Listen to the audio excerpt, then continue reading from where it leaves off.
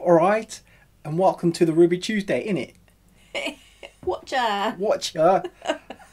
Today we are reviewing two weeks. What's it called? Two weeks to live. Two weeks to live. Blood. I'm not sure what that accent is, but okay. I don't know. It's, it's hard when you have to do it.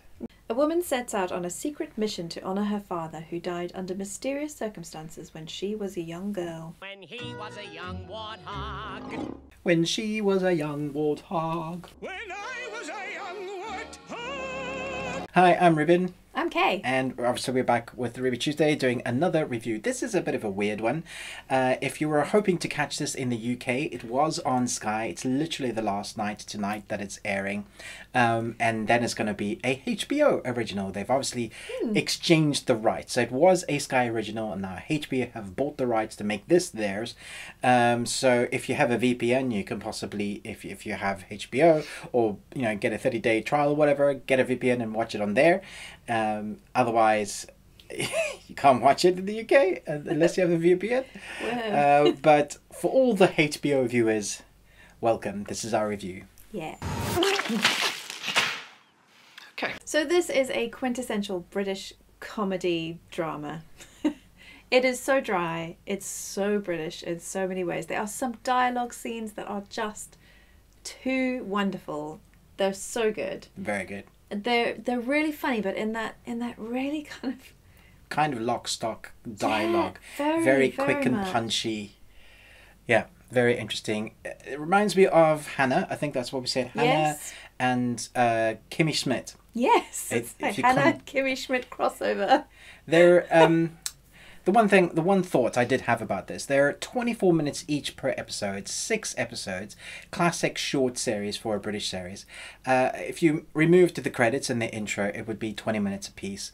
So we're talking a two hour movie. And I kind of felt like it could have been better as a two hour movie. We didn't need the breaks in between because it's so easy just to continue watching that story. It flows really well. Yeah, it does. Um, so I know if you're going to watch this, you're probably just going to want to binge watch the whole lot. You know, you- you'll be done and dusted in two hours. Uh, well worth your time. Absolutely. I thoroughly enjoyed the acting. I thought everyone was really strong. Um, I loved the the awkward quirkiness of some of the characters. Um, again, quintessentially British humour. I thought that the way Maisie Williams handled herself was really good. I f- it, it felt believable to Yeah. me. The way she moved, the way she, you know, did some of the fight scenes. I think there was like maybe one or two punches that I was like, oh, that was a bit girly. but most of the time, she really showed that she's uh, she's got some spunk. Yeah, which is why we mentioned Hanna. There was one really great fight scene. Uh, I, I wish there would be more of those. It starts off with a bang and then it does dip a little. Yeah, there is a there's a bit of a slow middle. pacing where they're trying to introduce us to the characters that they want us to follow throughout. Uh, but then it, again, it picks up at the end and we get back into that quirky dialogue, banter, um, uh, you know, just stuff that wouldn't happen in real life when you're in a gunfight and then suddenly you're having the conversation about, you know, your mother's cooking or the fact that you didn't, you know, do something or you want to finish your drink. It's that sort of comedy that is so rife when it comes to British humor. Yeah. Um, it's the type of stuff like uh, early, early uh, lock stock. You know that from Guy Ritchie's early content. Um, it's just so fast and frenetic. Uh, and uh, if you know British stuff, you'll love it. Um, if you love British humor, you'll love this. Um, the score, I, I couldn't. Th- it was good. Do you know what? It it was so understated that it didn't really make much of an impact on me. However, whenever they didn't have dialogue and they just had music, it was too loud. Mm. Because I was constantly turn it down. Yeah, so the, the score was good, but it they a lot of series suffer with this at the moment where their their levels are just off. So you're constantly adjusting, and we, you know you can test it on your TV audio. So is it just my TV? And then you test it on your surround, and it's like okay, literally the the levels are too loud. Uh, Yeah. For the music, and then you have to turn it down or turn it up when they're speaking. That is annoying. I, I do, I don't get, I don't get it, because it seems to be that that is the thing for a lot of TV series at the Yeah. I'm not sure why that's happening. Maybe it's something to do with some sort of new technology they're using. I don't know. Yeah, maybe. Whatever the case may be.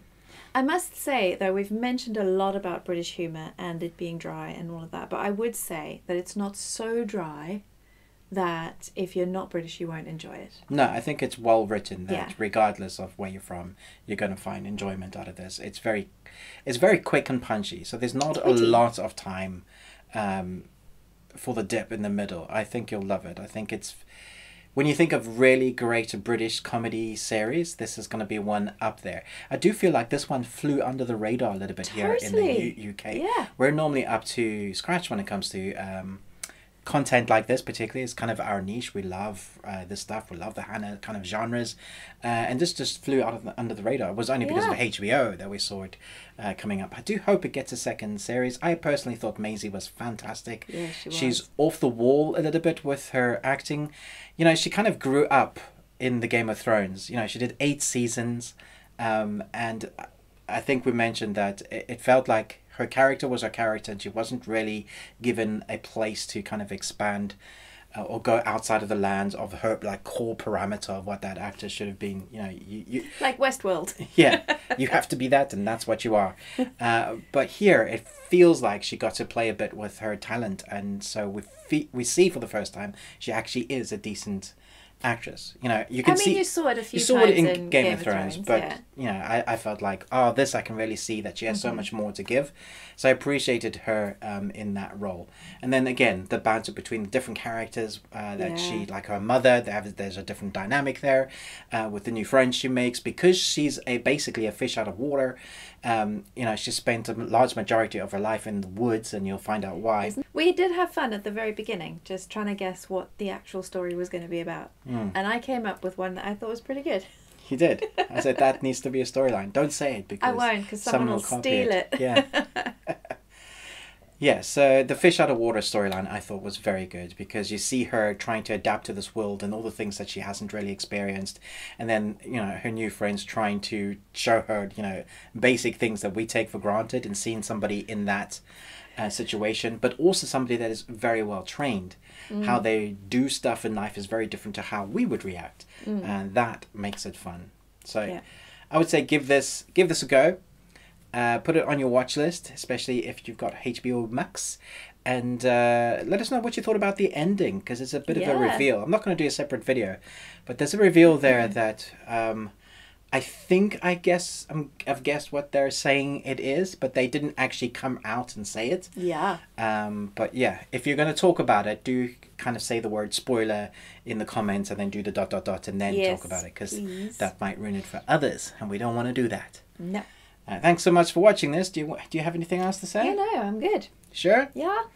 Speak now if you have hold your peace. Nah. Okay. Thanks so much for watching us. But uh, what? Until next time. Yes. Thanks. Do you want to say it? Thanks so much for watching this. Until next time, remember, live, long, and Tuesday. Did that feel weird? Very.